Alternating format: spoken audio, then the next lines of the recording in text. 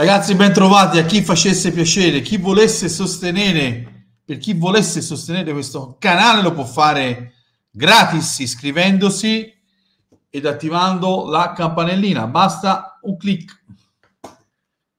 Grazie per ieri sera perché eh, c'è una live con dei numeri mostruosi, 870 persone collegate, hanno già vista più di 7000 persone. Eh, vi ringrazio tutti, tantissimi messaggi di apprezzamento. Giuse, fai più video, Giuse, fai più live. Vi ringrazio. Eh, mi volete spronare a fare più video, più live? Eh, il problema è solamente uno, il tempo, ma se avessi più tempo sicuramente avrei modo di farne molti di più di video e di live, anche se per come la vedo io meglio guardare alla qualità che alla quantità. È inutile fare 10 video al giorno e dire le stesse cose, è meglio farne meno, ma farne diciamo di più, capito? Eh, con contenuti più importanti. E sembra che questa di Cardi sia una fake news, io non lo so, non faccio calciomercato. Eh, c'è, chi dice la, c'è chi dice che Novella 2000 ha detto Icardi all'Inter e Donna Moderna dice Taremi. Vedremo tra Donna Moderna e Novella 2000 chi la spunta. Dai, a parte gli scherzi, non lo so. Sembra comunque sia stata una voce messa lì apposta, anche perché i costi per Icardi sarebbero altissimi e ad oggi la proprietà è sempre cinese. Noi ieri abbiamo un attimino illustrato un po' tutte le opzioni, eh, diciamo... Eh, che ci potrebbero essere da qui al passaggio di proprietà, noi siamo sempre dell'idea che Octree non escluderà il pegno e che ci sarà il passaggio di proprietà a breve. Ma ad oggi possiamo certificare che non c'è stato nessun passaggio di azioni. Per quello che riguarda poi dopo eh, proprio la punta in riferimento a, a, questa eventuale fake news di CAD, io non lo so se è una fake news, ma nelle ultime ore stanno dicendo un po' tutti questo. Non parlo di YouTube, eh, attenzione, cioè, nel calcio moderno, ragazzi, sappiamo tutti benissimo che ci sono tanti turni eh, infrasettimanali. Sappiamo anche che eh, si possono fare 5 cambi e che anche gli altri sfruttano tutti i giocatori freschi. Ormai li usano tutti i 5 cambi. Parliamoci sinceramente senza stare a girarci troppo intorno. Quindi non puoi non puoi avere nel calcio moderno troppa differenza, troppo dislivello tra chi gioca e tra chi sta in panchina, perché poi alla fine tu la paghi questa cosa qua. Non so se mi sono spiegato. Perché poi magari c'è la classica contrattura di un calciatore, da una settimana diventano due, da due diventano tre, e te magari hai il turno infrasettimanale, infrasettimanale il turno di Champions e eh, in un mese giochi 6 o 7 partite. Di cosa stiamo ragionando qui? Ecco perché ti dico è pericoloso continuare con questo parco attaccanti. Lo so, Giuse, non ci sono soldi, lo sappiamo tutti che non ci sono soldi ancora.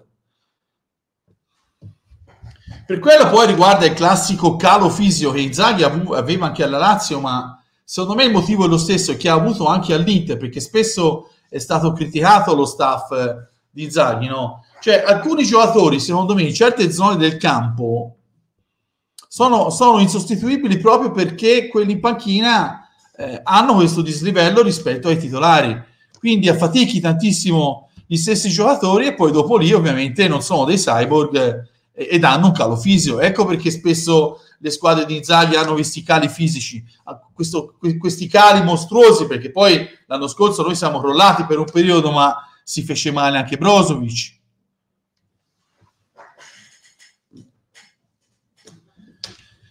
La gestione atletica di una squadra che fa un calcio propositivo è un conto, perché noi facciamo un calcio propositivo, noi sviluppiamo gioco, sviluppiamo tante azioni, mentre la gestione fisica di una squadra che specula, tipo, faccio un esempio, tipo Allegri, è diversa dalla gestione fisica di una squadra come quella di Allegri che specula sull'errore rispetto ad una squadra che propone gioco. Ecco perché le squadre di Zaghi spesso subiscono questo, ca- questo calo fisico.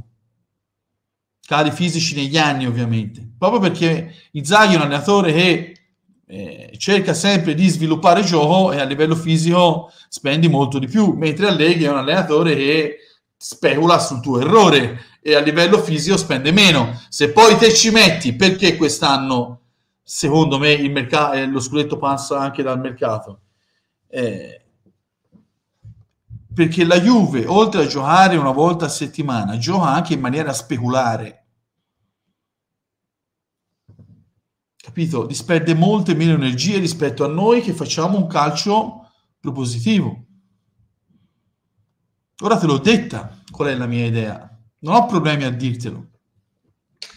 Per quelli poi che criticano Turam, io gli potrei consigliare eh, la dama, gli potrei consigliare il biliardino, lo stesso biliardo. Non, non, non, gli consiglio di guardare il calcio per chi critica Turam contro Lecce e Genoa. Cioè, anche perché il, il signor Marcus Turam, che è quasi sempre stato decisivo ad oggi, in alcuni movimenti, io parlo delle due partite Lecce e Genoa, a me è piaciuto tantissimo, perché la gente purtroppo la guarda solo la palla che entra dentro, bisogna farla finita di guardare solo la palla che entra dentro, poi ovviamente sto scherzando, ognuno la partita la guarda e la valuta a modo suo, ma se bisogna essere onesti ed obiettivi, te non puoi guardare solo la palla che entra dentro, perché se te vuoi valutare una partita, se te vuoi valutare un calciatore, te lo devi valutare anche in base ai movimenti e nei movimenti di Turam che ha fatto con Lecce ma anche con il Genoa a me è piaciuto tantissimo perché si,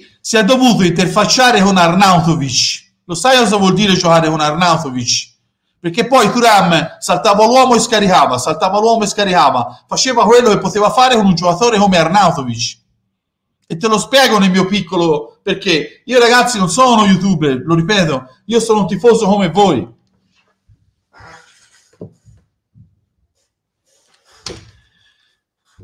la distanza tra i due attaccanti con Arnautovic era, era, era, tanta, troppa. Perché? Perché Arnautovic non ha la forza di accorciare e di andare incontro alla palla. Ecco perché li vedevi distanti, a volte si pestano i piedi, proprio perché Arnautovic eh, non ha mobilità, è un giocatore che rimane fermo e quindi cosa succede? Succede che tra i due attaccanti c'è troppa, capito? C'è una distanza importante. Perché... Eh, lo, lo, stesso giocatore austriaco, capito, non ha la forza di, accor- di, accorciare le distanze e di prendere la palla. È normale chi gioca con lui soffre. E poi ricordiamoci che Lautaro Martinez, che fino all'anno scorso era criticato da molti interisti, non ha mai avuto una partenza a bomba così. E per come la vedo io, opinabile, ci mancherebbe una partenza così, l'ha avuta anche grazie al lavoro che fa Turam, che lega il gioco e viene al centrocampo, che fa densità. Ma di cosa stiamo ragionando?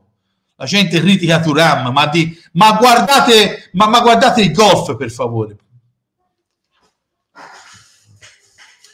Ti dirò di più, quando si è fatto male Arnautovic, che ha provato quello scatto, secondo me lui non farà più nemmeno quella tipologia di scatti, proprio perché si è rotto tutto provando a fare una cosa del genere. E l'età, ragazzi, avanza purtroppo. Quindi eh, Turam rimane comunque un giocatore che nel breve riesce a superare l'uomo, a creare superiorità numerica, ti scarica la palla, ti fa densità. Cioè la gente ora lo vuole valutare solo per i gol. No, non è giusto.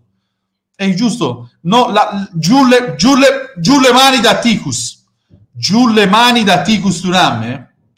Giù le mani da Ticus Turam e togliete la clausola. Ciao Inter.